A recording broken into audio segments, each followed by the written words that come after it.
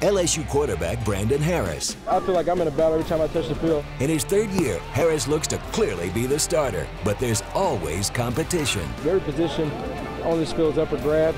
Daniel Brown goes in depth Thursday at 6.